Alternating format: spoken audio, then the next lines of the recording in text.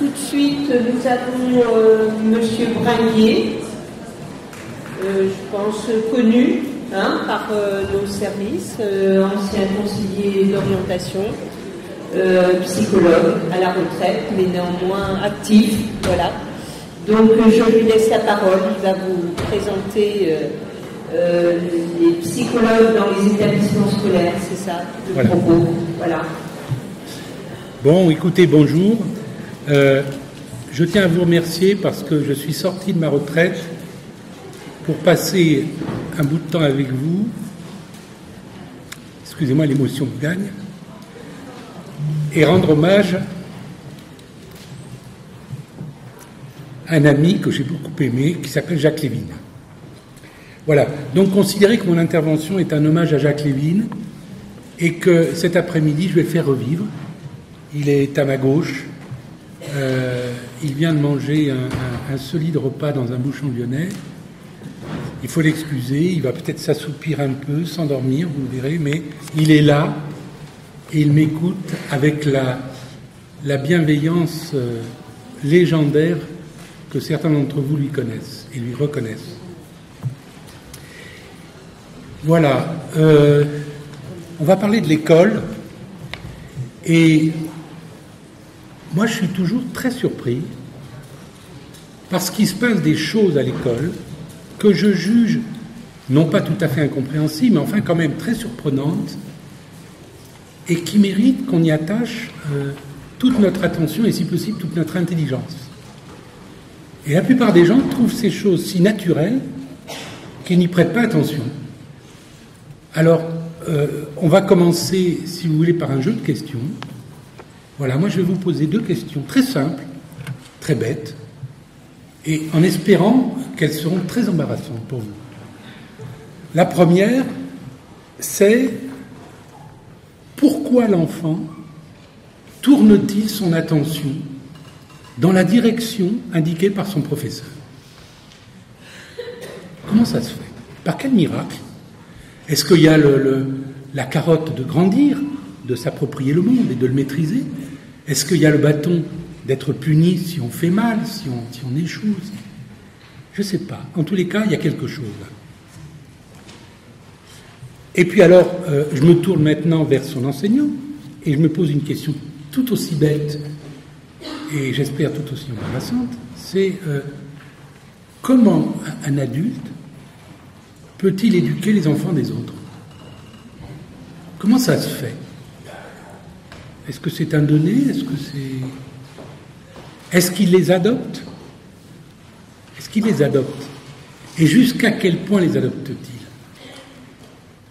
Et qui adopte-t-il et qui n'adopte-t-il pas? Toutes ces questions aussi sottes que grenues me viennent. Ça fait 30 ans qu'elles me taraudent. Et ça fait 30 ans qu'en tant que praticien, parce que je ne suis pas du tout un théoricien, mais qu'en tant que praticien, je me suis efforcé non pas d'y répondre, mais de m'en servir comme de lanterne pour éclairer ma nuit. Parce que, parce que la pédagogie, c'est la nuit, comme dirait Freud, c'est le continent noir. On n'en sait rien. Les neurosciences tentent de balbutier quelques réponses. Philippe Mérieux tente de, de proclamer quelques, quelques éléments, mais au fond, on n'en sait que dalle. Alors, Considérer ces deux questions, bien qu'étant naïves, comme des questions cruciales, c'est vraiment accepter d'entrer, de pénétrer dans le foyer ardent de l'éducation d'autrui, éduquer autrui. C'est quoi éduquer autrui? Moi, je considère comme des saints, euh, si vous voulez, les saints patrons de la psychologie de l'éducation, ceux qui nous ont offert ne fût-ce qu'un petit éclairage, ne fût-ce qu'une ou deux notions. Vous voyez, pour moi, par exemple, Montessori, avec son histoire de la proportionnalité du développement physique de l'enfant et puis des matériaux qu'on peut mettre à sa disposition, pour moi, voilà, un génie. Euh, pour moi, Vygotsky, avec simplement pour concept le langage intérieur, ou la zone proximale de développement, ben voilà, c'est des génies pour moi. Et naturellement, Jacques avec ce qu'on évoquera tout à l'heure, qui s'appelle le soutien au soutien, bah, c'est un des saints patrons de notre métier, soyez-en sûrs. Alors, s'intéresser à ces questions, les prendre au sérieux, ne pas les juger ridicules, et essayer de les tenir dans leur contiguïté, ne pas les séparer. C'est-à-dire s'intéresser au mystère qu'est l'enfant en train d'apprendre, mais aussi s'intéresser à cet autre mystère qu'est l'adulte en train de lui apprendre. Accepter cette complexité, cette architecture complexe, ce lien intersubjectif, c'est faire ce que je me suis efforcé de faire pendant 20 ans, c'est-à-dire de la clinique euh, de la pédagogie, de la, de la pédagogie clinique, si vous voulez. Alors je me suis appuyé pour ça sur ceux qui voulaient bien, ceux qui avaient des choses à montrer, c'est-à-dire ce que j'ai appelé les pédagogues résilients, c'est-à-dire ceux qui avaient renoncé à renoncer, ceux qui avaient renoncé à laisser des gamins sur le bord de la route, ceux qui avaient dit non, pas un ne restera sur le bord de la route, quoi qu'il arrive, d'où le titre de mon bouquin Les scolarités fragiles, il s'agit de ça, il s'agit des profs qui, qui prennent les scolarités fragiles et qui essaient de les mener plus loin, qui ne laissent pas tomber. Eh bien, lorsqu'en tant que psychologue, on se rend compte que ces gens-là existent et qu'on s'efforce de ne pas nous les laisser tomber, eh bien on fait ce que Jacques, qui sourit quand j'en parle, appelle le soutien au soutien. Nous soutenons les enseignants qui soutiennent les élèves. Voilà. Alors, euh, bienvenue donc dans cette pratique professionnelle rare, étonnamment, étrangement rare et peu bavarde à l'éducation nationale, qu'est le soutien au soutien. Alors bien sûr, Jacques, euh, qui, était, psychanalyste, qui était un, collaborateur d'Henri Vallon, euh, et un, grand admirateur de Winnicott, bien sûr, euh, il, a, il, a, proposé ses services aux enseignants sur un mode, au fond, assez classique du psychanalyste s'intéressant à une pratique professionnelle, c'est-à-dire qu'il a proposé ce qu'on appelle, vous savez, les groupes Balint, des groupes de parole. Et il a mis au point une méthode euh, au sein d'une association qu'on appelle les groupes de soutien au soutien, qui est la méthode en cinq temps, je ne peux pas vous la détailler, euh, ça serait rentré dans un, dans un séminaire si vous voulez. Mais ce qui est l'essentiel de son affaire, le, génie, c'est pour ça que Jacques est, un de nos saints patrons, c'est ce qu'il appelle l'approche tripolaire de l'enfant. Qu'est-ce que c'est qu'une approche tripolaire? Il appelle ça l'écoute tripolaire. Moi, j'avoue qu'aujourd'hui, je préférais parler d'attention tripolaire. Une, attention. Euh, j'insiste sur le mot attention. Ce qu'on espère de l'élève, c'est qu'il soit attentif à l'enseignement. Ce qu'on espère de l'enseignant, c'est qu'il soit attentif au vécu de son élève. Ce que j'espère de vous, c'est que vous soyez attentif à ce que je raconte. Bref, je mets en évidence cette notion d'attention. Donc, qu'est-ce que c'est que l'attention bipolaire, l'écoute tripolaire, pardon? C'est le fait pour un psychanalyste accoutumé à considérer l'enfant sous l'angle de ces désordres, euh, de, ces, accidents de la route, si vous voulez, de ces moments de, trébuchement, de ces passages difficiles de stade, de ces, carences, parfois primaires, euh, et habitué à voir cet enfant développer euh, des systèmes de défense par rapport à, ces accidents qui, l'ont fragilisé, qui l'ont vulnérabilisé, et qui parfois l'ont esquinté, ont, réduit son champ expérientiel, ou ont déformé euh, ces perceptions euh, expérientielles, eh bien, le psychanalyste est accoutumé à considérer l'enfant au moins sous cette bipolarité de l'enfant accidenté et de l'enfant réactionnel, de l'enfant en réaction, en défense. On ne veut pas avoir mal, personne ne veut avoir mal. On construit des défenses contre la douleur, contre les souffrances, contre le ricanement d'autrui, ou du moins le regard d'autrui. Bref, L'enfant se construit des barricades, mais ces barricades, à leur tour, deviennent des freins au développement, bien sûr. Hein. c'est le problème des structures euh, euh, réactionnelles, c'est qu'elles sont utiles pour une économie de la souffrance, mais elles, peuvent être nuisibles pour une économie du développement. Et donc, le rôle du psychanalyste, c'est bien d'amener cet enfant-là, euh, si je peux dire sous le nez, les enseignants ou les éducateurs, parce que j'ai fait aussi beaucoup de, de groupe avec des éducateurs et des travailleurs sociaux. Mais enfin, d'amener ceux qui s'occupent d'enfants, disons, de les amener à considérer la tripolarité de l'enfant, à savoir l'enfant accidenté, du moins les hypothèses qu'on peut en formuler, ou du moins simplement le zonage qu'on peut faire de cet enfant. Je ne sais pas si certains d'entre vous sont bridgers. Au bridge, il y a toute une partie du jeu qui s'appelle les annonces, où on s'échange des informations pour essayer de cerner quel est le jeu de cartes qu'on a en main. Essayer de montrer aux partenaires, euh, on a plus de piques que de carreaux, euh, on a une force, etc. On appelle ça du zonage ou de la distribution. Essayer de caractériser notre main. Eh bien, le psychanalyste essaye d'aider les, pédagogues, enfin, ou les, éducateurs, à, caractériser le type d'accident de l'enfant. Ça se passe où? C'est pas pareil d'avoir euh, des effondrements archaïques et puis d'avoir simplement un, petit complexe de type difficile à résoudre. C'est pas la même affaire, bien sûr. Euh, et on ne traite pas ça dans une relation d'aide de la même façon. Euh, le care ne s'exprime pas de la même façon selon que l'enfant a des carences primaires ou selon qu'il traverse une période chahutée. Donc, euh, éclairage sur l'enfant accidenté, éclairage sur les dispositifs réactionnels qu'il a mis en, marche et que le psychanalyse et que le psychanalyste perçoit à travers le dire des professeurs. Parce que les professeurs dans les groupes, ils viennent dire la situation de l'enfant, ils viennent évoquer un cas, comme on dit. Hein. Et la personne qui propose le cas, elle en dit un peu sur elle-même, vous le savez bien. Mais quand même, elle en dit sur l'enfant, et notamment l'enfant réactionnel. Hein l'enfant rétif, l'enfant euh, en échec scolaire, l'enfant, l'enfant boudeur, l'enfant triste, l'enfant ceci. Donc, euh, on arrive à cerner ces deux dimensions. Et la troisième dimension, qui est la plus belle, je vous l'ai réservée pour la fin, c'est la dimension résiliente, bien sûr. C'est-à-dire, qu'est-ce qui reste de l'enfant une fois qu'on a examiné ses plaies, ses bosses et euh, son armure quoi? Quelle est la part vive, la part ardente, la part, la, pulsion de vie qui reste et qui fait qu'il peut quand même procéder à des investissements, euh, etc. Ça, vous voyez, c'est le regard tripolaire du psychanalyste et le regard tripolaire qu'il essaye d'infuser, qu'il essaye d'inviter les membres de son groupe à adopter.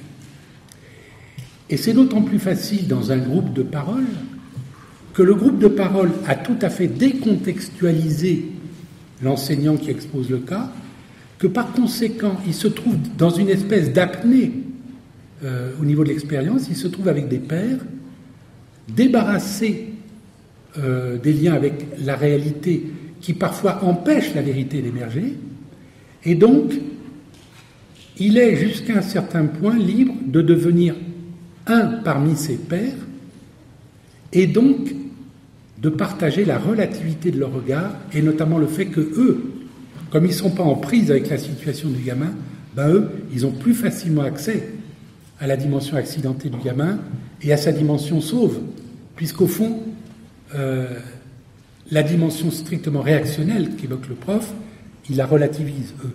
Et je dirais même que tout le jeu du groupe consiste à relativiser euh, cette réitération sans arrêt du professionnel. Ah, euh, le petit Christophe, il m'emmerde, il me rend la vie impossible, il rend pas ses affaires, euh, il fait du théâtre en classe, il me met le why dans mon cours. Bon, tout, vous connaissez toute la litanie, toute la plainte des profs. Eh ben, quand, le prof vient poser sa plainte, ben, une fois qu'il l'a posée, d'une certaine façon, il en est libéré. Et il est disponible pour entendre les autres rumeurs, les autres horizons d'attente sur l'enfant. Parce qu'au fond, l'essentiel dans cette affaire, c'est de multiplier les horizons d'attente.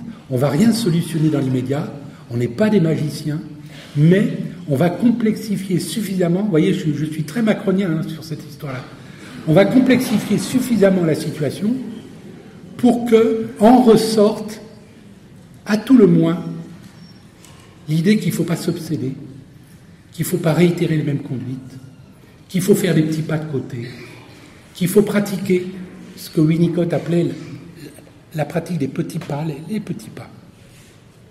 Et donc, euh, cette, pratique professionnelle du soutien au soutien, par Jacques Lévin, par Jeanne Moll, par euh, moi-même, quelques autres, euh, s'est beaucoup développée. En même temps, elle a trouvé ses limites parce que ben, il fallait des animateurs, des animateurs formés, des animateurs euh, possédant une foi humaniste dans l'intérêt de ce genre de dispositif, des, animateurs quand même suffisamment familiers de l'école pour pas réciter leur Freud indépendamment du contexte scolaire. Donc, ce euh, c'était pas évident. Et puis alors, d'autre part, ça c'est donc, si vous voulez, le, contexte du soutien au soutien extérieur à l'établissement. Ce sont des groupes donc qui se réunissent en dehors de l'établissement, généralement en dehors du temps de service. Il y a parfois un co-investissement, c'est-à-dire que parfois ils payent de leur propre denier l'intervenant, mais parfois aussi leur ce qu'on appelle MAFPEN, je ne sais pas si ça existe toujours les MAFPEN, les missions de formation? Non, ça n'existe plus. Moi j'ai travaillé pour la MAFPEN à Versailles, j'ai eu un moment, dans une année, en plus de mon boulot de COP, 120 professeurs en, groupe de parole. Bon, c'était de la folie pure. Mais on était fous, mais on était jeunes, on était fous. Bref. Euh, donc, euh, si vous voulez, c'est extérieur. Il y a un co-investissement parfois, donc l'académie consentant à, financer l'intervenant et parfois même le lieu de, la formation, mais avec toujours cette idée d'une extériorité et d'une délocalisation. Le professionnel est délocalisé de son cadre. À l'inverse, moi, quand, j'ai. Euh, parce qu'au début de ma carrière, j'étais avec les juges des enfants. Je travaillais pour les juges des enfants. Et puis, euh, quand j'ai débarqué à Marseille, parce que ma compagne avait un boulot intéressant, euh, bah, je me suis retrouvé dans les établissements scolaires, naturellement dans les quartiers nord de Marseille. Et là, bah, j'ai essayé, j'étais loin de Jacques, donc on se téléphonait. Mais il fallait que je me démerde. Et donc, j'ai essayé de créer en interne, c'est-à-dire au sein des établissements, des dispositifs qui ressemblent un peu à ce qu'on faisait avec Jacques en extérieur. Et j'ai fait pendant des années des groupes de parole, des ateliers de pratique, des ateliers de cas, des ateliers de réflexion pédagogique. ça portait tous les noms du monde. Donc c'était plus ou moins sympa, mais jusqu'au jour où je me suis rendu compte qu'en fait c'était toujours les mêmes qui venaient. Et qu'en fait je ne faisais rien qu'être une espèce de, d'école d'élite pour profs d'élite, déjà très sûrs d'eux-mêmes et qui veulent un petit perfectionnement, et puis des petites gratifications quand même. Ben Pierre, euh, ouais, euh, on discute avec lui, euh, on sacrifie notre, temps de liberté entre midi et une heure et demie, on, s'achète le sandwich et on se mange le sandwich dans le bureau de Pierre. Bon, c'était très sympa, mais c'était un peu trop dans l'entre-soi. Et surtout, et c'est ça qui finalement m'a amené à, changer mon fusil d'épaule, c'était une façon, je dirais, allez, je dirais pas de disqualifier les autres profs, mais quand même de considérer qu'il y avait un peu deux catégories, quoi. qu'il y avait une espèce d'hors-classe de profs. C'est euh, les profs résilients, euh, super doués, euh, qui prennent en charge les gamins, qui restent au bahut toute la journée. Moi, j'ai vu des profs Moi, je quittais jamais le bahut avant 6, 6h30. Je faisais le désespoir des concierges. Mais attendez, des fois, j'étais battu par tel ou tel prof qui était en train de bouiner, de faire les trucs. Bref, et donc je me suis dit, non, ça ne peut pas durer ça. C'est trop dans on est trop dans l'entre-soi, on est trop dans, dans une espèce d'aristocratie, en quelque sorte. Et il faut que, tu, il faut que ta pratique épouse euh, la réalité de l'ensemble du, collège des enseignants. Il faut que tout le collège des enseignants puisse dialoguer avec moi, être accompagné dans leur pratique, comme je le fais avec les, les experts, si je puis dire. Et c'est là qu'il m'est arrivé quelque chose d'extraordinaire. Alors, je vais vous demander, si vous voulez bien, de retenir quatre concepts. Je serai peut-être comme ça un jour un saint, un saint patron de l'orientation, je ne sais pas. En tous les cas, il y a quatre concepts que je vous demande de retenir. Mascotte, cercle vertueux, dispositif et ressources. Alors, je m'explique. Je vais commencer par les ressources. Les ressources, c'est très simple. La phrase que je viens de dire avant, c'est typiquement une phrase de quelqu'un qui a souci des ressources dans un établissement. Les profs sont une ressource, une ressource rare, donc précieuse. Donc, si je n'ai affaire qu'à cinq profs ou six profs, parce qu'ils me, grattent, me grattent le dos, euh, euh, ils considèrent que je suis génial, ils me, ils me, ils me réassurent. Bon, je suis complètement à côté de la plaque. C'est-à-dire que j'ai reconstitué dans l'établissement ce que le mauvais prof fait dans sa classe, c'est-à-dire se créer un chouchou pour se rassurer, pour être dans un jeu de réassurance réciproque, et comme ça, devenir imperméable à ce qui se passe dans le groupe classe. Donc, déjà, le terme de ressource, qu'est-ce que c'est qu'une ressource? Le ressource, c'est, pour le psychologue, faire un état des lieux de ces ressources. Et on parle de quoi? On parle des ressources humaines. Je ne vous demande pas d'être des, des, DRH, mais quand même, je vous demande de ne pas être étranger à cette idée qu'un établissement, c'est un lieu fragile, c'est une construction fragile. C'est peut-être mon côté juif. Hein. Moi, je, je connais le côté fragile des civilisations. Euh, on a des ressources, et eh bien, rendons grâce au ciel et essayons d'en profiter de ces ressources, mais de toutes ces ressources. Et il n'y en a pas de mauvaises, il faut essayer de toutes les employer. Ça, c'est. Voilà. Autre notion de ressources, c'est dans l'entretien. Quand vous avez un entretien avec un gosse ou avec une famille, immédiatement, il faut faire appel aux ressources. Il faut faire l'inventaire des ressources. Je crois qu'un des premiers actes de, psychologue, en tous les cas dans l'approche rogérienne, c'est l'inventaire des ressources. Donc voilà, premier concept que je vous invite à, intérioriser, si vous me prenez comme ça patron, c'est les ressources. Deuxième concept, la notion de dispositif. Là aussi, je voudrais combattre un masochisme des psychologues, qui est aussi d'ailleurs le masochisme des professeurs, un excès de modestie, nous sommes tous des petits génies, c'est-à-dire que nous n'arrêtons pas de créer des dispositifs sans le savoir. Comme M. Jourdain fait de la prose sans le savoir. Eh bien moi, ce que je vous demande, c'est de le savoir. Un entretien, c'est un dispositif. Aller en salle des profs, se rendre disponible pour qu'un prof vienne à vous, c'est un dispositif, etc., etc. Mais ça veut dire que c'est exigeant ce que je dis, parce que si c'est un dispositif, alors vous avez la charge, intellectuellement, de vous le valider, de le référencer, de le, contextualiser, de l'analyser, d'en faire l'analyse critique avec vos collègues, entre pairs. Bref, vous avez en charge vos pratiques comme autant d'objets précieux. Hein. et les dispositifs, comme les ressources, sont des objets rares et précieux. Voilà mon deuxième concept. Et mon troisième concept, et maintenant je reviens à Jacques Lévin, qui s'était endormi mais qui commence à se réveiller un peu, c'est le concept de mascotte. Moi, la plus belle découverte sur le terrain, ça a été celle-là. J'ai découvert les mascottes. Alors les mascottes, vous les connaissez tous, bien sûr. C'est cet enfant qui est ce que j'appelle dans un article, j'avais appelé ça le chouchou à l'envers. C'est-à-dire il est choisi par son professeur, non pas parce qu'il est à sa semblance, parce qu'il lui gratte, il le gratte dans le sang du dos, parce que quelque part euh, il vient sans arrêt alimenter son petit narcissisme, etc. Mais tout au contraire, il choisit cet élève parce qu'il vient l'interroger sur sa pédagogie, parce qu'il est sa limite de compétence, et surtout parce que quelque part ça lui rappelle quelque chose sur ses propres faiblesses et sur celle des autres élèves.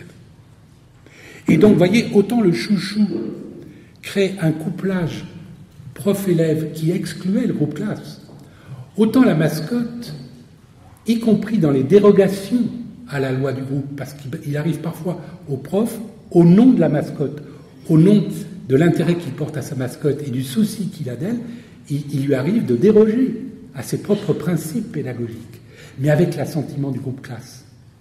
Et au contraire, ça grandit le groupe classe, parce que loin d'être jaloux, le groupe classe, qui s'est identifié à l'enfant mascotte dans ses faiblesses, dans sa turbulence, dans ses écarts, dans sa différence, parce qu'on est tous différents. Hein, on est tous. Euh, le vilain petit canard, c'est une fable idiote. On est tous les vilains petits canards. Il n'y a pas un seul signe. Euh, est-ce qu'il y a un signe dans cette euh, salle qu'ils veulent bien se dénoncer? Mais non, on est tous des vilains petits canards. Donc, si vous voulez, la mascotte, c'est cet être merveilleux qui apporte brusquement à la vie de la classe cette espèce de nourriture du Caire, euh, grâce à quoi chacun va essayer d'être au mieux de lui-même, le professeur de son côté et les autres camarades du leur. Ça durera ce que ça durera. Euh, vous n'êtes pas sans savoir ce que, ce que appelait l'illusion groupale. Hein. Bon. Il y a de l'illusion groupale dans ce que je dis. Mais l'illusion groupale, c'est de la nourriture aussi. C'est une ressource aussi. Ne vous moquez pas de l'illusion groupale. Ne dites pas, ah, c'est des conneries, tu verras un jour, tu vas atterrir. Attendez, mais profitons, avant l'atterrissage, profitons de tout ce temps de vol, on arrive à avancer et à faire des choses. Donc, euh, voilà, euh, troisième mot, mascotte. Et le quatrième mot que j'aimerais que vous reteniez, c'est cercle vertueux. Donc, pour comprendre ce que c'est qu'un cercle vertueux, je reviens à mon exemple de l'écoute tripolaire. Vous vous souvenez ce que je disais? Une écoute tripolaire, c'est lorsque on arrive à, obtenir de nos partenaires, des, gens avec qui on dialogue, qu'ils soient attentifs à toutes les dimensions de l'enfant, les dimensions accidentées, les dimensions réactionnelles, y compris dans leur côté désagréable ou frustrant pour nous, et puis la dimension sauve, la dimension que j'appelle résiliente, si vous voulez. Euh, prenons un exemple, le petit Christophe. Petit Christophe, on en parle dans un groupe Balint. Alors, il y a le prof qui expose le cas. Moi, j'appelle ça un proposant, un prof proposant, et qui dit bah, Christophe, écoutez, il faut que je vous en parle parce que j'en peux plus. J'en peux plus. Il, je vais vous le dire, on est entre Il me fait chier, mais grave. Nanana. Et puis il commence la litanie. Tatatac, tatatac. Bon. Donc on le laisse épancher un peu sa, plainte. Ce, ce que j'appelle en, technique, je vous en parlerai, le drain. Poser un drain. Poser un drain, c'est faire que dans une conversation avec un, enseignant, vous le laissiez euh, suinter sa plainte. Parce que c'est très dur le métier d'enseignant. Nous, c'est je dirais, notre métier, c'est du, nanan à côté. Il n'y a pas un métier plus dur que le métier d'enseignant. Donc, voilà, il file sa plainte, Christophe, nanana, j'en peux plus, nanana. En plus de ça, bon, ce petit salaud, il a les moyens, il est malin. Mais vous croyez qu'il se met au boulot Mais rien du tout, nanana, il n'a même pas ses affaires. Et puis alors, il, euh, il, boude ostensiblement, enfin bref. Le gamin frustrant, au possible.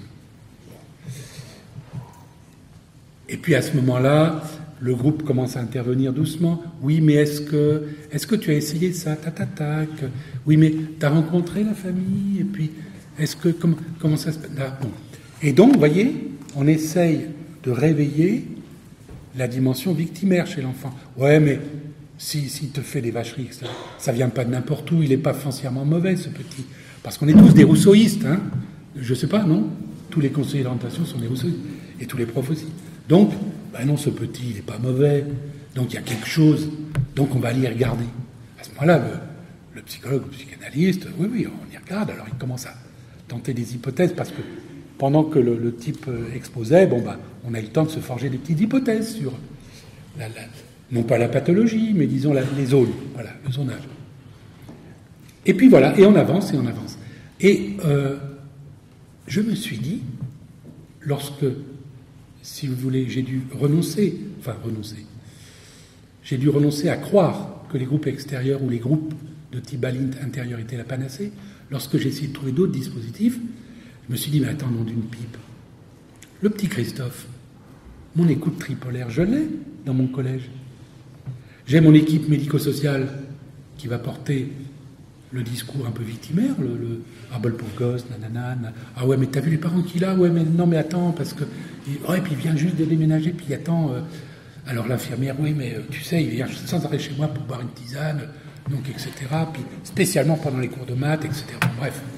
Donc si vous voulez, euh, hop, on a on a le discours de la victime représenté par mon équipe médico-sociale, dont ma pomme bien sûr.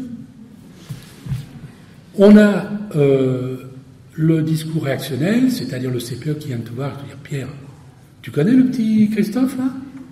Putain, je ne peux plus le tenir, moi, je ne sais pas quoi faire. Je lui ai encore filé une, une fille de suivi, que je pensais que ça.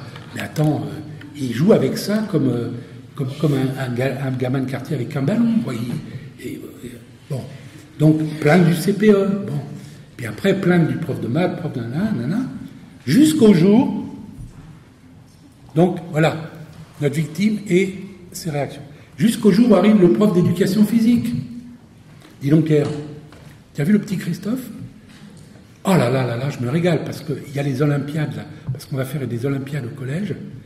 Et euh, il est en train de taper des professeurs. Hein. En saut en hauteur, il a battu M. Willy, hein, 1m45. Hein, je ne sais pas si tu vois, Christophe. Et euh, il est bon dans toutes les disciplines. Puis alors, je ne sais pas ce qu'ils ont, mes, collègues, mais alors, c'est dingue. Je ne comprends pas. Moi, j'ai aucun problème avec lui. Et euh, je peux te dire un truc, c'est dans les sports co.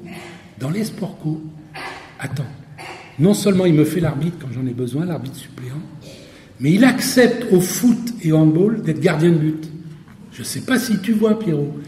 Et puis, euh, et puis pour m'expliquer les règles, pour expliquer aux copains les règles du jeu, il n'y en a pas deux comme lui, quoi. C'est-à-dire que moi j'énonce la règle et lui il la démultiplie, il explique à, sa façon, il, il, explique en verlan, tout ce que vous voulez. Bon, bref. Donc Christophe, génie, futur prof d'éducation physique. Et voilà mon Christophe résilient, si vous voulez. Et donc, je me suis dit, mais attendez, mais j'ai tout à la maison. J'ai tous les ingrédients à la maison. Seulement, faut que je sois malin, faut que je crée des dispositifs.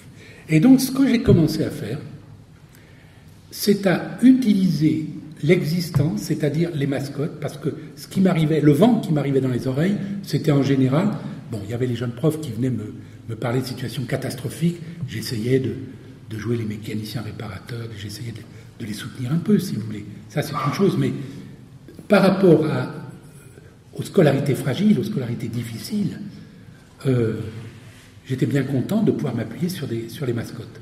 Donc, j'avais vendu une mascotte, le prof venait m'entretenir, puis comme par hasard, je vais vous donner une anecdote simple, une petite, que j'appelle Marinette dans un, dans un bouquin. Euh, bon, je ne peux pas raconter toute l'histoire de Marinette, mais c'est adorable, c'est adorable. Et à un moment, elle vient, elle vient me voir pour la troisième fois dans mon bureau en disant euh, Ça y est, monsieur, j'ai trouvé un stage, etc. Parce qu'elle elle voulait absolument s'occuper d'animaux. C'était une petite fille euh, malheureuse, et bah, son truc, c'était s'occuper d'animaux, quoi. Les, voilà, les maternés, les. Voilà. Créer du maternage, on va dire. Bon. Et, euh, je dis Ah bon, mais c'est. Moi, j'y croyais pas une seconde, c'était une pauvre fille, je croyais pas une seconde. Elle m'arrive, elle dit J'ai trouvé. ah, j'étais. Et, euh, et j'ai dit Bah écoute, maintenant, tu sais quoi? Alors, il faut dire que c'était une famille phobique, c'est-à-dire que s'éloigner de 30 mètres de la maison euh, sans être accompagné, ce n'était pas possible, etc. Et moi, je voulais vendre à la famille le fait que la gamine quitte Marseille pour aller du côté d'Aix-en-Provence, où il y avait une maison familiale et rurale qui faisait une spécialité autour des animaux. Bon, va vendre ça à la famille. Alors, euh, je dis, euh, bah écoute, Marinette, oh, ça serait bien que, que tu en parles à ton prof principal, parce que Peut-être qu'ils organisent des journées portes ouvertes. Tu vois, regarde, j'ai vu sur un papier, euh, journée porte ouverte, ta, ta, ta, ta, ta. Elle me dit, mais c'est déjà fait, monsieur Boinguet. Mais ma prof, elle a déjà pris rendez-vous, elle vient me chercher en voiture, etc. Et je me rends compte bah, que la prof, jeune prof, magnifique. Là aussi, je suis.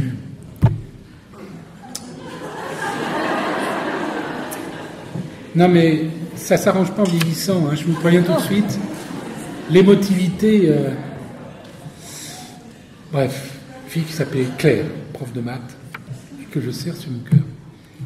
Donc cette, cette jeune femme, elle vient me voir euh, au bureau la semaine suivante en me disant Pierre, je te retiens, hein, a été journée porte ouverte à la maison familiale. Putain, j'y étais, il n'y avait que de la flotte, il a flotté toute la matinée. J'étais avec ma bagnole, on s'est paumé, on a trouvé ta ta ta ta ta ta. Bon, et la gamine, elle avait son, sa place, elle avait réussi à convaincre avec l'aide de son prof. Voilà, voilà typiquement l'élève mascotte.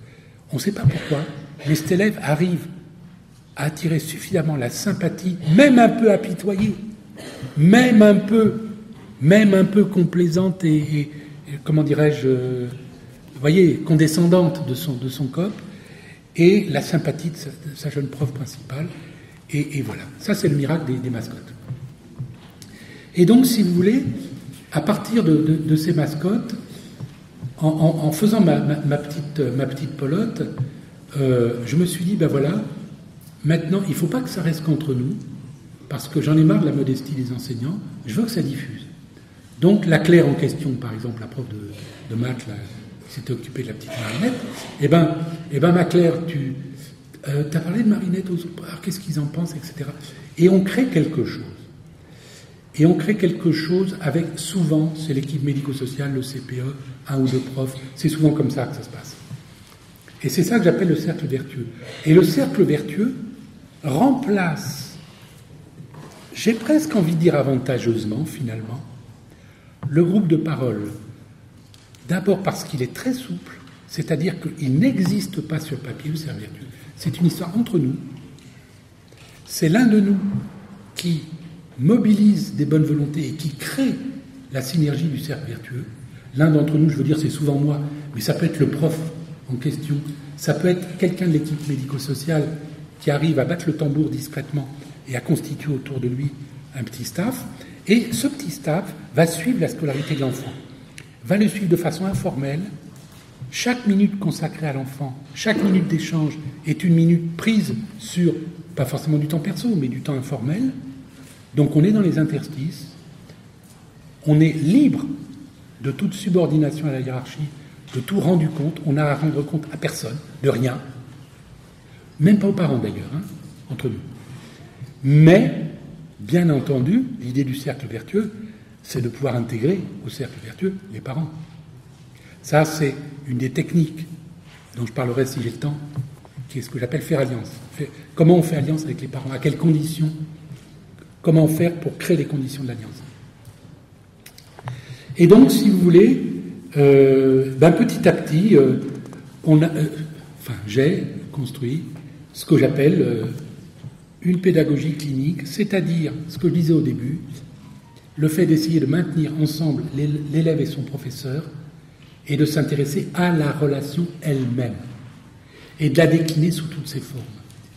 Et de mettre les mains dans le moteur, d'ouvrir le capot, de mettre les mains dans le moteur et, de pouvoir dire au prof, bon, maintenant on en est où, qu'est-ce qu'on fait? On pourrait faire ci, on pourrait faire ça. Bref, essayer de transmettre des techniques.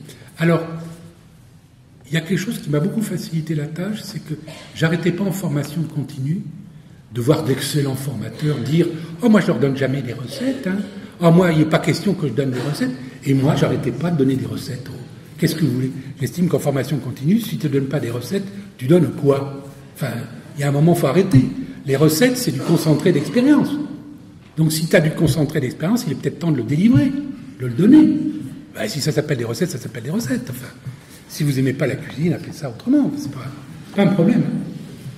Donc, si vous voulez, j'avais ce très bon contre-exemple, et donc j'ai passé mon temps à donner des recettes.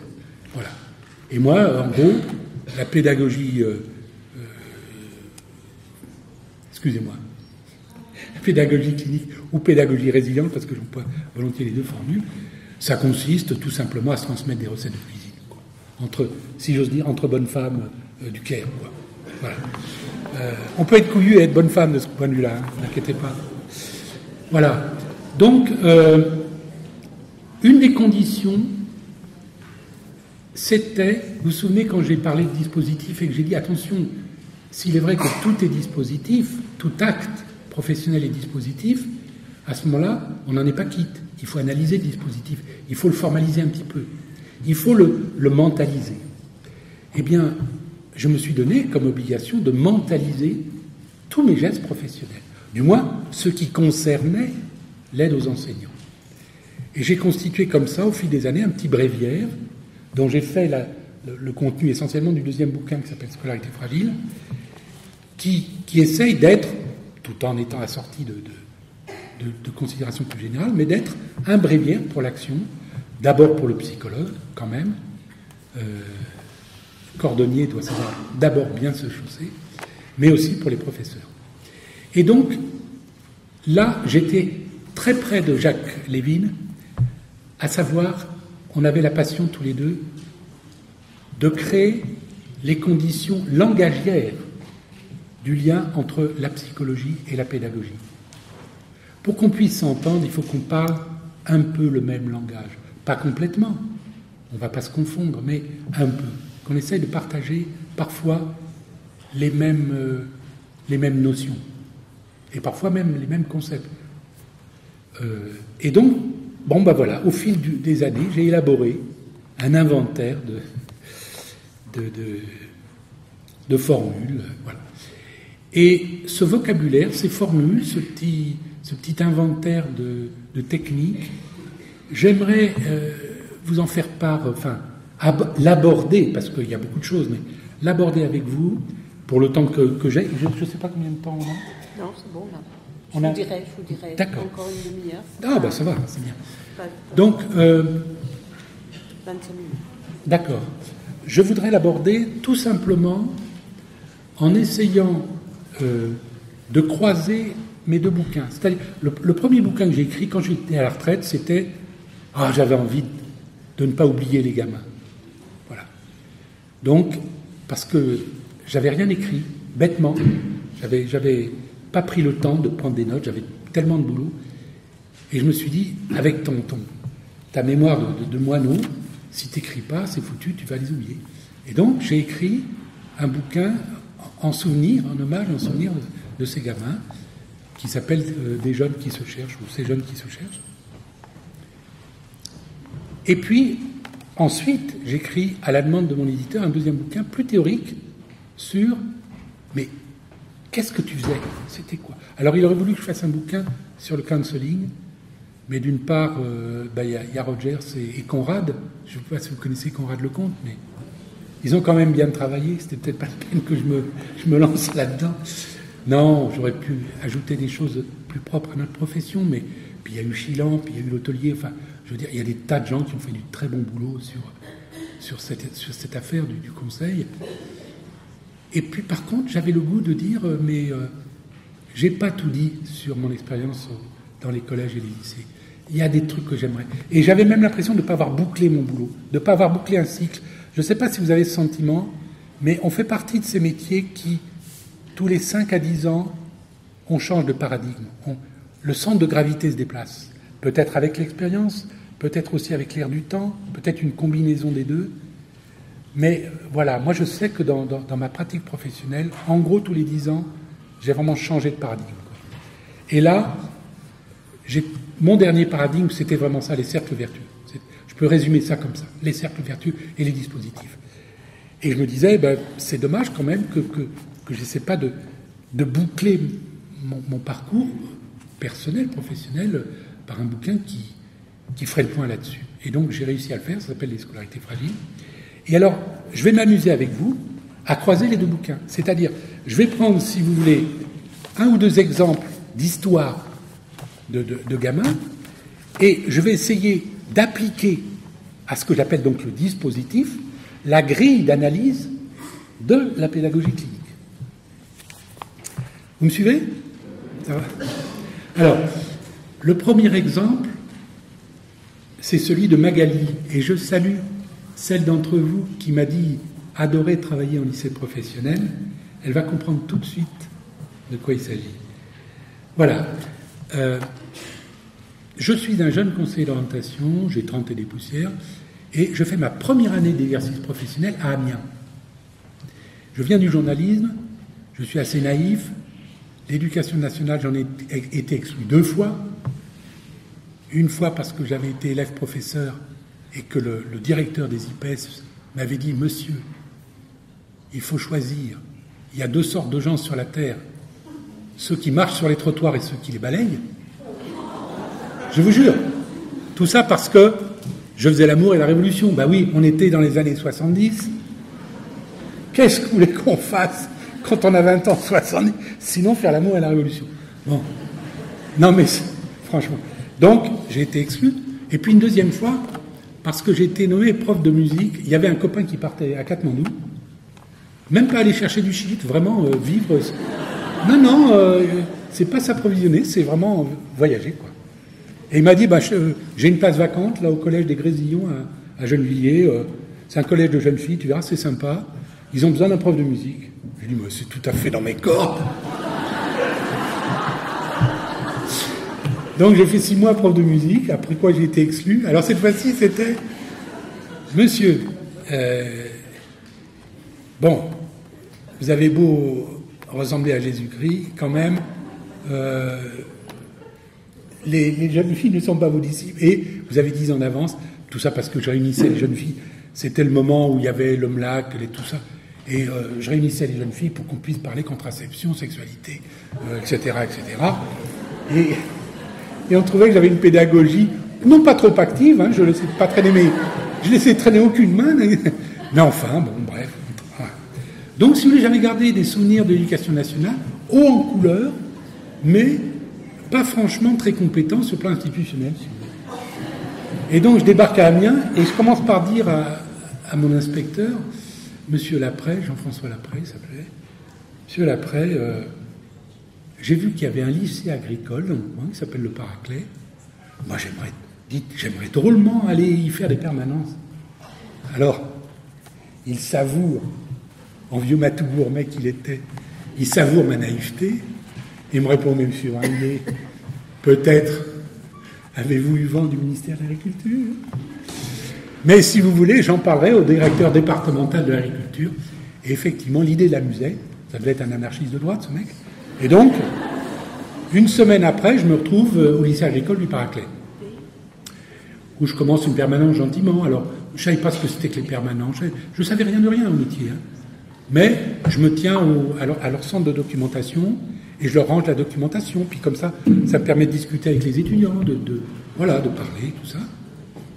Et j'ai quelques petits entretiens tranquilles, mais au CDI, si vous voulez. Euh, et puis un jour, il y a une prof qui vient voir, qui me dit, Monsieur Wanguier, euh, j'aimerais beaucoup vous rencontriez une de mes élèves, euh, on va l'appeler Magali, hein, dans mon bouquin je l'appelle Magali.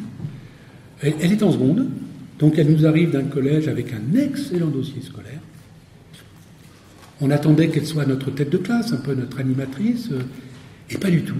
Elle est complètement éteinte, euh, elle est près du radiateur, euh, elle est effondrée, les résultats sont à peine médiocres. bref, cette petite s'étiole et j'aimerais bien que vous la voyez. Bon, rendez-vous est pris, et Magali, qui n'a pas les moyens de la rébellion du tout, qui est visiblement en période un peu euh, hypodépressive, quoi. Elle, vient à l'heure dite, comme on lui dit, comme, euh, comme l'animal. Euh, voilà. Et alors, je, je, la fais rentrer dans. Je ne sais pas si j'avais un bureau, je me souviens plus. J'avais un petit coin en tous les cas. Je la fais rentrer dans le petit coin et je, la, je lui demande de s'asseoir. Et puis, ben, je ne savais pas quoi faire. Je me suis dit, bon, je suppose qu'elle est intelligente, elle a un excellent livret scolaire. Euh, du côté cortical, ça devrait, ça devrait être pas trop nul. Donc je vais pas m'emmerder à faire des tests, des trucs de. Bon, donc déjà, tu exclus les tests et tout ça. Bon, tout ce qui est orientation, attends, attends qu'elle pose ses fesses, euh, elle est en seconde, euh, tu vas quand même pas l'emmerder avec l'orientation. Bon. Donc j'ai fait le compte et je me suis rendu compte que j'avais rien à lui raconter, ni rien à lui demander. Alors, ben, je lui ai dit, mademoiselle, ça y est, l'émotion m'en prend. Ça devient une maladie, hein, mais c'est de votre faute tout ça. Euh, dis, mademoiselle, euh, votre professeur m'a demandé de vous rencontrer. Elle me dit qu'elle se fait du souci pour vous que vous n'êtes pas là où, là où elle vous avait imaginé au début d'année. Vous n'êtes pas la petite euh, jeune fille joyeuse en, tête de pont qui dit à l'abordage. Vous êtes là plutôt à bon. Alors écoutez, mademoiselle, euh, elle ne comprend pas et je crois que moi non plus je ne comprends pas. Est-ce que vous pouvez m'en dire plus quoi? Et puis j'avais, j'avais plus rien à dire, donc je ferme ma gueule. Et du coup, elle, profite, elle en profite pour l'ouvrir, elle.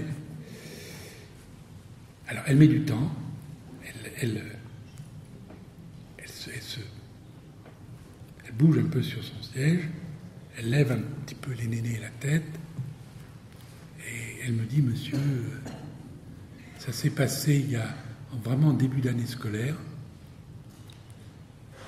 Je crois que c'était le premier week-end ou deuxième week-end où elle rentrait chez elle.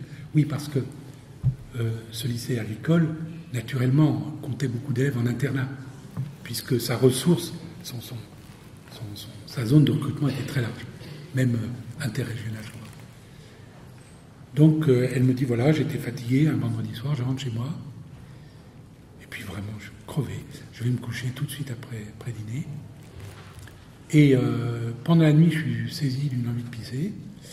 Donc je sors de ma chambre, et en passant dans le couloir, j'entends une conversation entre mes parents qui me fait comprendre que mon père n'est pas mon père. Qu'auriez-vous fait? Alors là aussi, j'écoute ça du haut de mon inexpérience totale et, je lui dis, mademoiselle, je vous remercie de, m'avoir fait confiance, de m'avoir livré quelque chose d'aussi intime sur vous. Mais justement, c'est trop intime. Vous ne pouvez pas garder ça, c'est trop lourd. Faites-moi plaisir, quand vous allez rentrer chez vous, ce week-end, vous allez trouver un moment, vous allez vous arranger pour vous retrouver seul avec votre mère un moment, et vous allez lui parler. Et je crois que c'est tout ce que je lui ai dit. Je lui ai dit, mademoiselle, c'est trop lourd pour vous. Oui, mais ce que je, vais, formuler une demande, voyez Je n'ai pas dit, euh, euh, je ne sais pas comment dire, je, lui ai dit, je vous demande, c'était moi qui demandais, quoi. Je vous demande, c'est-à-dire, je vous demande, je vous demande de m'aider à vous prendre en charge, en quelque sorte. Vous voyez ce que je veux dire euh, Et puis voilà, et on s'est quitté là-dessus, quoi. Et je n'ai plus jamais revu Magali. Simplement, à partir de ce moment-là, dans mes permanences suivantes, j'ai vu le défilé des jeunes filles Nicolas. J'avais peut-être encore un petit côté Jésus-Christ qui m'a qui m'a quitté depuis.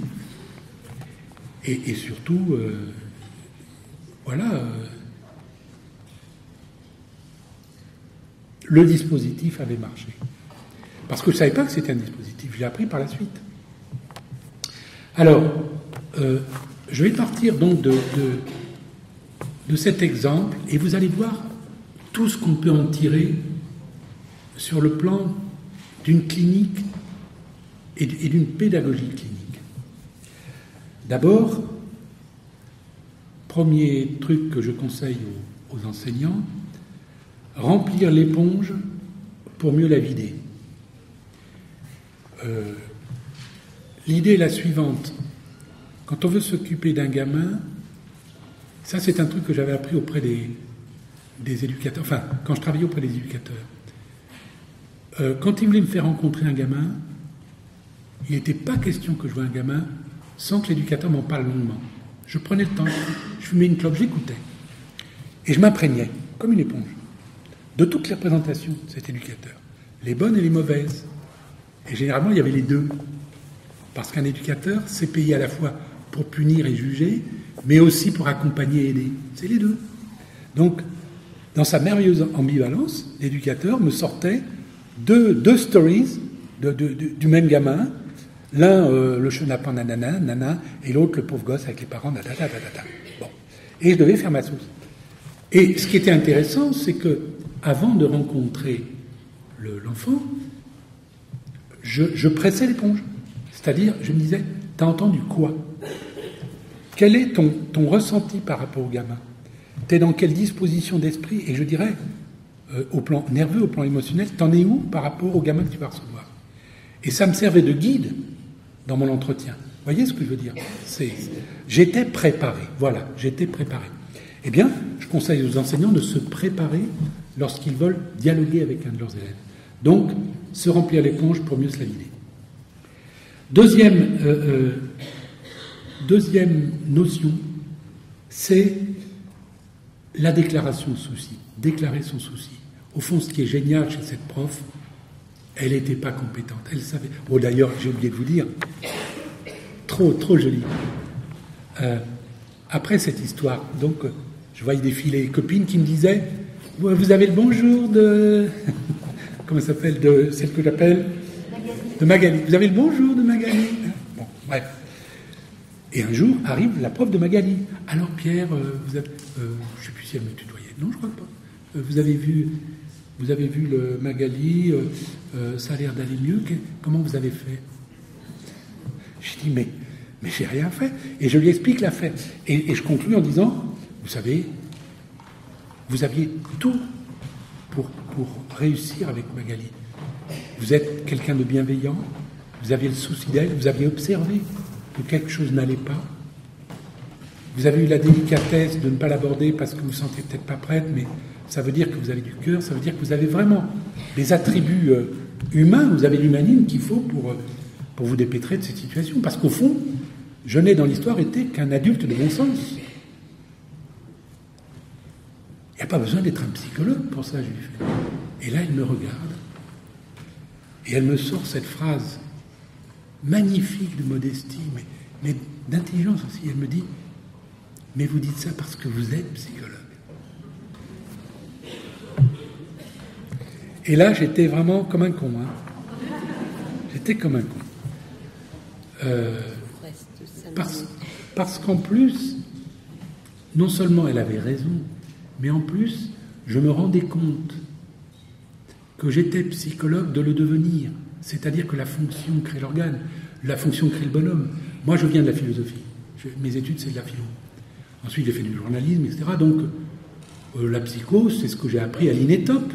Et puis, dans ma formation continue, quand même, j'ai toujours eu l'appétit. Mais enfin, à l'époque, j'étais jeune conseiller, donc la psycho, c'était frais, c'était, c'était un peu plâtreux comme truc, quoi. Mais, euh, mais l'habit faisait le moine, quelque part.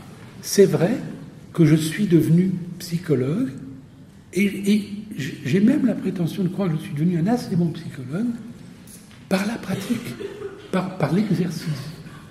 Donc, voilà, déclarer son souci. Vous voyez comme c'est amusant le dispositif. Pourquoi je parle de dispositif? Parce que cette jeune femme qui n'a pas su déclarer son souci à son élève, elle a transité par moi. Mais à la limite, qu'importe. C'est un dispositif un peu complexe. L'essentiel, c'est qu'un adulte déclare à la jeune fille son souci. C'est-à-dire, fasse attention à elle, c'est-à-dire ne l'abandonne pas. Et au fond, une fille qui n'est plus la fille de son père, c'est une fille abandonnée. Vous voyez comment tout ça résonne. Euh, donc ensuite, percevoir ou créer un dispositif, bon ça j'en ai largement parlé. Ensuite, pouvoir tout recevoir sans juger. Alors ça, voilà, oh là là, encore l'émotion. Bon, il se trouve que j'ai parlé de mes origines juives. Euh, il se trouve que j'ai fait avec un ami un, film sur les convois de la mort, c'est-à-dire euh, les, gens qui étaient envoyés dans les camps d'extermination. Et euh, j'ai été chargé de faire les repérages. Les repérages, c'est lorsque pour préparer un documentaire, on va à la rencontre de gens, donc éventuellement dans une catastrophe de rescapés, on les interroge, et c'est un peu cynique ce que je veux dire, mais on voit si ça passe ou pas on voit si on peut les mettre devant une caméra ou pas, parce qu'il y a des gens formidables mais qui ne passeront pas devant la caméra. Et donc, euh, j'avais fait ce travail de repérage.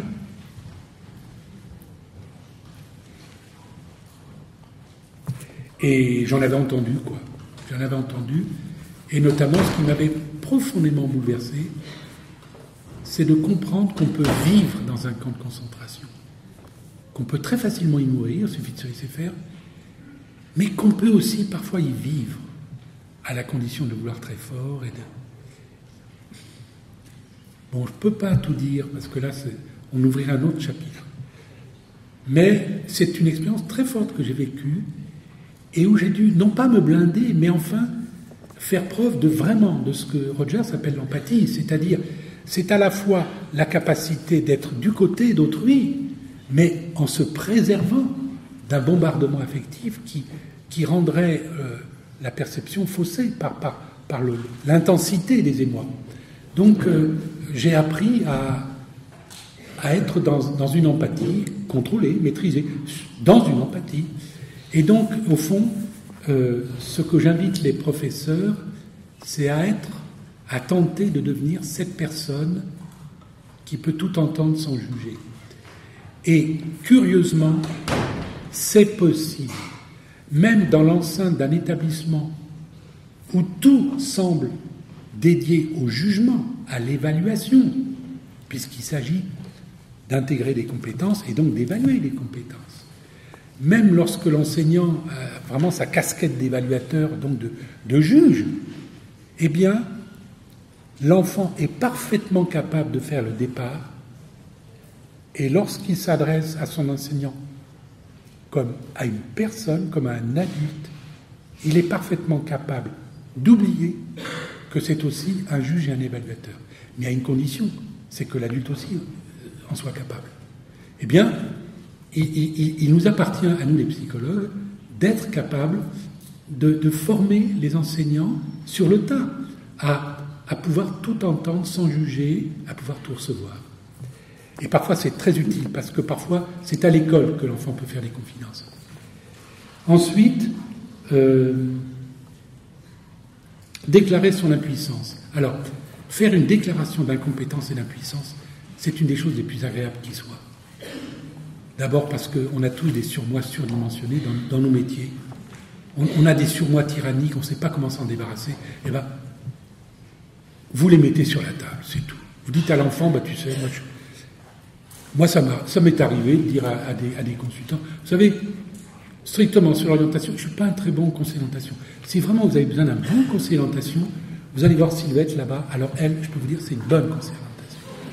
Mais moi, sur l'enseignement supérieur, écoutez, je peux vous dire qu'il y a un bac, qu'il y a des facs, je peux vous raconter deux, trois trucs, mais c'est pas trop.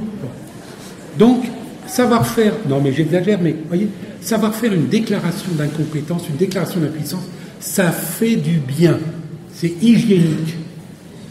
Et j'invite mes, mes, amis professeurs à le faire parce que eux, ils ont un surmoi. Mais alors, eux, c'est très simple. Leur moi, il est à l'envers. Au lieu d'être une pyramide comme ça, avec le sale moitié, c'est comme ça. Elle est comme ça, leur pyramide. Elle est à l'envers. Donc, si on peut les aider à, à, faire euh, détruire le château d'eau ou à faire tomber un peu de flotte, c'est pas mal. Donc, la déclaration d'impuissance et d'incompétence. Là, il s'agissait de quoi? Ben, J'en ai pas fait, mais ça allait de soi. Euh, je ne fais pas d'expertise, je fais rien de, ce que je sais qu'on me demande, mais je dis à la jeune fille, je, écoutez, euh, je vous écoute, c'est vous qui avez les clés, quoi. Je vous donne les clés, c'est vous qui êtes la compétence. Monsieur Premier, oui. est-ce que c'est possible Oui. Encore une minute. Vous plaît, je suis désolée. Non, non, une minute. Ensuite, euh, proposer une alliance avec la famille, finalement, je n'ai pas proposé une alliance directe avec la famille. Mais quand j'ai dit comme solution, bah, tu, rentres ce week-end puis tu, causes à ta maman, c'est exactement ça. C'est l'idée qu'au fond, les ressources de cette gamine, sa vraie ressource, la vraie personne compétente, bah, il n'y en avait qu'une, c'était sa mère. C'est elle qui pouvait raconter l'histoire euh, et que un papa, euh, euh, un vrai papa existentiel, c'est encore mieux qu'un papa biologique. Il n'y a qu'elle qui peut raconter ça, hein, cette histoire d'amour-là. C'est pas nous, c'est pas moi ou le prof qui peut le raconter. Donc, Ensuite, inventorier les ressources, on en a parlé. Et enfin, dernière chose, accompagner un deuil. Écoutez, j'avais prévu trois cas. Eh bien, je peux vous dire une chose. Les deux items, les, deux techniques que j'ai retrouvées dans les trois cas, quand j'ai fait l'inventaire des techniques dans les trois cas, je vous jure que c'est vrai.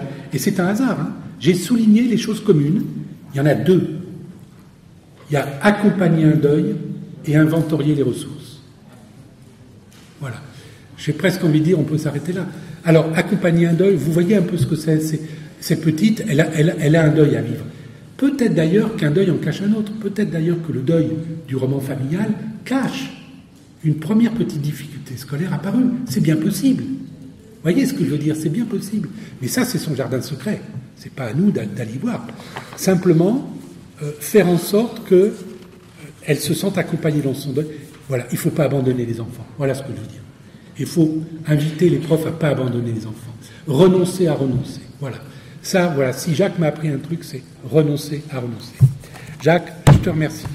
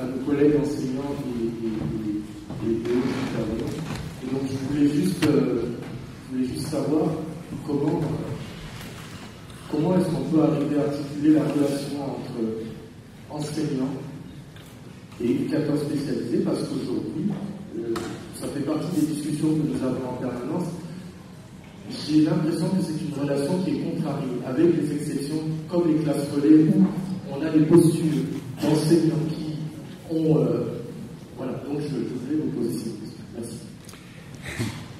Bon, bonjour à toi, je te tutoie. Bonjour à toi et bonne route. Euh, oui, euh, pour les enfants de justice, c'est-à-dire ceux qui, que le juge a, à qui il attribué une mesure éducative, qui peut être un placement au foyer, mais qui peut être simplement ce qu'on appelle une mesure d'assistance en milieu ouvert, eh bien, il y a concurrence de, tuteurs. Il y a certains tuteurs de l'enfant, sincères, dévoués, qui sont les enseignants. Il y a certains tuteurs de l'enfant dédiés, dépêchés par le juge, qui sont les éducateurs, PJJ notamment. Et puis il y a quand même les tuteurs de l'enfant, lorsqu'ils n'ont pas été déchus, qui s'appellent les parents. Et tout ce petit monde ne vit pas en bonne harmonie, parce que tout ce petit monde est pris dans des conflits de loyauté complexes. Euh, l'éducateur est dans un conflit de loyauté majeur parce que si l'enfant a un juge, c'est que ça ne se passe pas forcément très bien à la maison. C'est qu'il y a lieu de penser qu'entre l'enfant et les parents, il est bon qu'il y ait du tiers, qu'il y ait, l'intercession. Or, l'éducateur, il est cette intercession. Donc, il est forcément dans une alliance avec les uns ou les autres. Il est forcément dans une alliance avec l'enfant ou avec les parents. Tout l'art, naturellement, va être de médiatiser suffisamment ces alliances pour maintenir ouvertes les possibilités de dialogue avec les uns et les autres. Mais c'est compliqué. C'est compliqué. C'est un défi pour l'éducateur.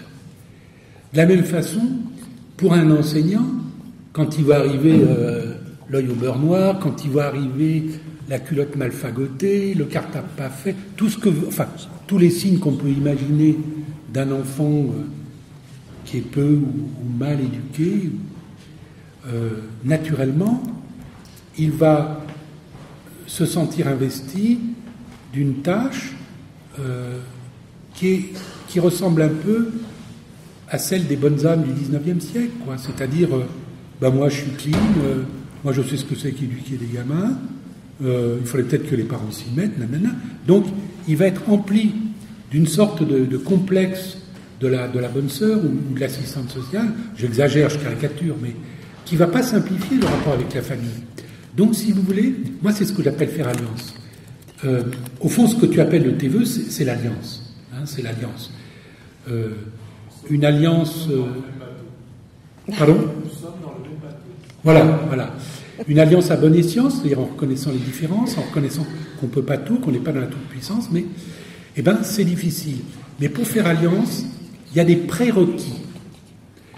Un des prérequis, c'est de faire un inventaire positif des ressources. Donc, on reconnaît à la famille ses ressources. C'est pas hasard si le juge ne l'a pas disqualifié. Moi, j'ai des souvenirs terribles. Excusez-moi, j'ai dû avoir une vie. J'ai des souvenirs terribles d'enfants dans des familles violentes, euh, avec ce qu'on appelle le père euh, incestueux et la mère incestigatrice, comme on disait. Euh, j'ai des souvenirs terribles de ça. Et le juge qui ne décisait pas, qui ne prononçait pas la déchéance parentale. Et parfois, ça m'est arrivé de passer un coup de fil énervé au juge en disant Mais qu'est-ce que vous foutez, quoi? Là, maintenant, c'est la cadette qui vient me voir en disant C'est pour la Benjamin, je me fais du souci parce que mon aîné a été violé par papa, moi j'ai été violé par papa, mais j'ai l'impression qu'il est, en train de regarder la petite, etc. Et, de m'entendre dire par le juge oh Oui, mais Bringuier, j'arrive pas avec cette famille, nanana. Bon. Je vais pas. On va pas épiloguer. Ce que je veux dire, c'est que toute, toute perclue de difficultés qu'elle soit, de tous ordres, économiques, culturels. Ça peut être de l'éthylisme, ça peut être des phobies, euh, des agoraphobies, des choses. Bref, une famille, elle est ce qu'elle est, et en tous les cas, elle est sans doute la ressource humaine, la première ressource humaine à la disposition de l'enfant. Avant de l'ensevrer, il faut savoir ce qu'on fait. Et, si on ne l'ensèvre pas, eh ben, faut assumer le fait que ça reste une ressource. Il faut essayer de positiver cette ressource. C'est pas facile, parce qu'on a envie d'avoir un regard condescendant, d'un regard en aplomb, en disant cette bonne femme qui ne sait pas se tenir, qui engueule tous les profs dès qu'elle rentre dans l'enceinte du bahut, qui pue l'alcool, etc., qui sent la vieille gitane euh, nana, euh, elle nous donne des leçons, nanana, nanana. Bon, ben oui, il faut savoir transiger avec cette femme-là aussi. Et c'est pas facile. Donc, il y a tout un apprentissage à faire de d'humanité, tout simplement. Hein, d'humanité. Et ensuite, l'autre question, c'est le lien direct entre les éducateurs et les profs. C'est très compliqué parce que entre l'éducateur et le prof, il y a, l'enfant. Et donc il y a la question de qu'est-ce qu'on fait derrière son dos, qu'est-ce qu'on fait pas derrière son dos. Moi, je serais tenté de te répondre de la façon suivante. En ce qui concerne les éducateurs et les profs, on fait rien dans le dos de l'enfant. Ça pourrait être, ça pourrait être une ligne de conduite déjà, ça.